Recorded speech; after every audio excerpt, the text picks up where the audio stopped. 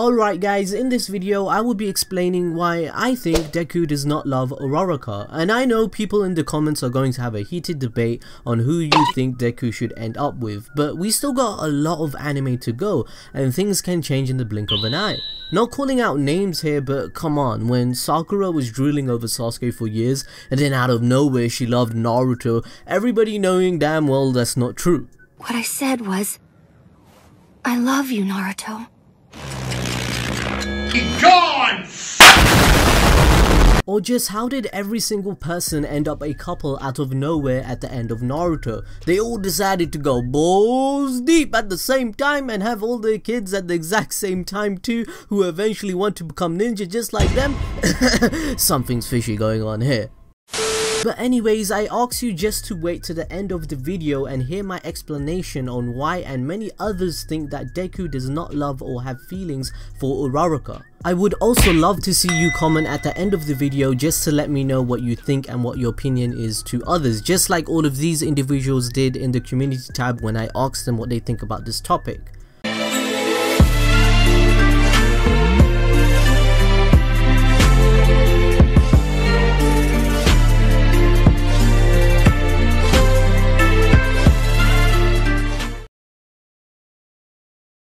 Just to let you guys know, this video is sponsored by Anime Ryo. They sell My Hero Academia products and there is a discount code which is ABD Squad, 10% off everything that you order in checkout. Other anime products are on sale too like Naruto or Dragon Ball Z, so if you want to grab a gift or something for yourself, check it out. Now I'll start by saying I am not at all implying that they will never end up together, because no one knows that yet, only the creator knows what is going to happen, and I am just giving you an opinion on the topic. I believe Horikoshi, the creator of My Hero Academia, has kept this subject matter open on purpose. This is because it's a great way of writing your story, as it leads to new and multiple pathways to take Deku's character for example. It essentially doesn't let your character be stuck in one path, which results in rigid writing.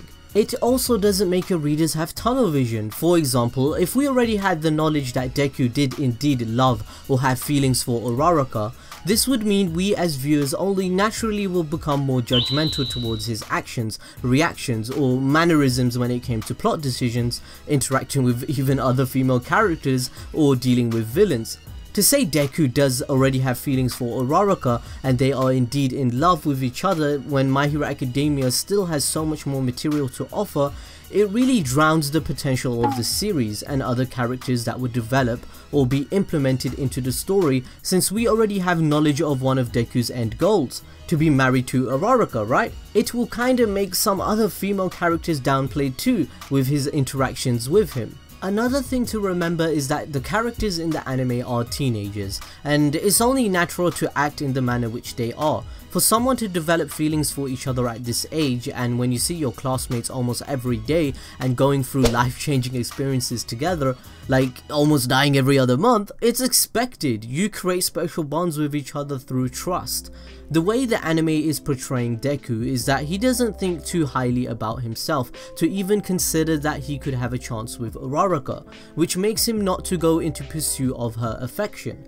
Deku is a humble character and whenever he is complimented he seems embarrassed. Uraraka seems to be the heroine of the anime, so much so that most people think that it's clear that they'll get together and for many it was set in stone thanks to her actually loving Deku shown in multiple scenes. But the thing is, we should all realize that Deku hasn't shown any strong feelings of love towards her back, nor have we had any exposition of him thinking about it like Uraraka does.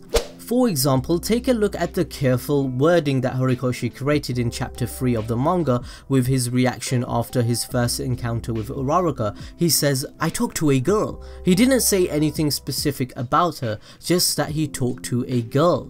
Like, I don't know about you guys, but if I see a girl I find attractive, I'd be like, damn, she got some of them nice assets or personality or something, you know what I'm saying? Usually when you find someone attractive, you should know what you like about them. Deku seems to be nervous just because a girl talked to him. Uraraka was the first person Izuku interacted with when he first came to UA High School and the two are best friends, they get along very well and their discussions are always bright and friendly. Uraraka was the one that turned his once demeaning nickname Deku into a positive identity for him, when she said it gave her a never give up vibe for example. Because of Deku not having a quirk, being shunned by his classmates and being harassed by Bakugo, it's pretty much killed his social life, right? Which caused him to have social anxiety in certain situations, which explains why he's embarrassed around girls. My Hero Academia takes place in a city called Mustafu, based in Japan, which is also located somewhere near Tokyo. So from that, we can assume that he spent 3 years in middle school being constantly harassed by his peers for being quirkless. In those three years, not having social interactions up till this point and not any friends, he started attending UA High School. It's like when a kid who tasted candy for the first time and is surprised of how good it is. It just threw him off guard because he was not used to being himself, right? So from that, we can assume Deku acting flustered and excited because he now has a friend who is a girl and one whom he can consider his best friend alongside all the others since he didn't really have any before. Another example is in chapter 57. He ends up just labeling Uraraka as just a girl when he ends the phone call. After he ended his call with her, I quote, he says, I talked to a girl on the phone, awesome, a real girl, and then he sighs. Again, he said nothing about her specifically, not saying Uraraka-san or her, it's just that he talked to a girl via phone. Usually when people like someone, you would say at least their name, but Deku does not. He seems like he is just excited about the experience. Like, think about it, if that was Rock Lee talking to Sakura who is his crush on the phone like that, wouldn't he react in a different way, right?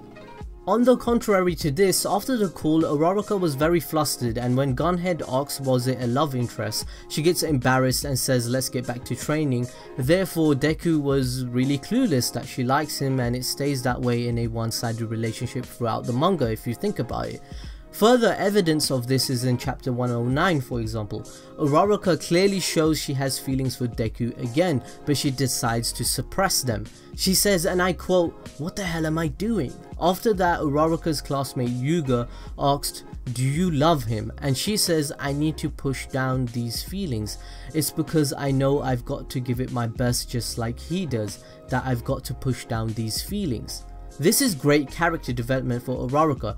It shows that she has grown as a person and is striving to be the best she can be. She idolizes Deku and sees him as a source of inspiration.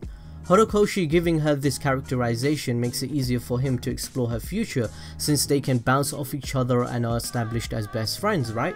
Like it also shows she is now not just being a hero for money or fame, she wants to prove herself to everyone and help others which is what a true hero should want. I think he has he may well develop feelings for her in the near future and she's set up as the female lead and romantic interest but I guess it's just gonna take some time. It's easy to see that he has shown the most attraction towards Uraraka. Personally I like the pair and I want them together but there's no need of serious development for them to get together right now in the show. I just think that Deku is focusing on becoming the top hero right now and he's kinda tunnel visioning on his dream and just doesn't see Uraraka likes him, much like how most shonen protagonists feel that way. Furthermore, let's be honest, Horikoshi has admitted that Naruto, One Piece and other western comics have inspired him, and it's 100% fact as well as evident from his peers such as Kishimoto or Oda that creating a questionable ship within an anime actually helps create sales through the hype or discussions that occurs with the fanbase. Even this video I'm kind of promoting My Hero Academia because it draws a reader's attention more to keep coming back to see the story of My Hero Academia since it it pulls on our heartstrings. Why wouldn't he want to emulate the best storytelling from things that inspire him? He wants us to keep reading and writing and get addicted to the show, which we are. That's why in my opinion, I think the creator of My Hero Academia has kept this subject matter open-ended on purpose. Logically speaking, in Horikoshi's point of view, he doesn't want Deku to come across as a douche and unlikable character. Deku is the embodiment of a hard worker, hope and the light within darkness that we can all aspire to be ourselves. He has openly admitted himself he wants Deku to be the embodiment of a superhero. Deku all in all throughout My Hero Academia, he's kinda gonna be displayed as a stoic personality much like All Might was. He repeats it himself over and over again in the start of every episode. This is my story of how I became the number one hero. So from now on, whenever you guys read or watch My Hero Academia, I want you guys to start noticing the wording or behavior Deku has towards Uraraka and vice versa. You will start to see how it may be one-sided at the moment. However, one of the end goals for both of these characters at the end of the anime is going to be together. They want to be together. This will bring the story full circle and be accepted by the fanbase because that's what we all want to see, right? So right now, I definitely don't think Deku has feelings for her and it's done on purpose. There are many more chapters and evidence that can showcase the point which I'm trying to illustrate in this video too. So be sure to let everyone know in the comment section below if you notice them just like all the guys did in the community tab. Shout out to every one of you on the screen here and let me know your opinion on the topic. Don't be shy guys, you know, you let me know, I read your comments and we see you guys next time.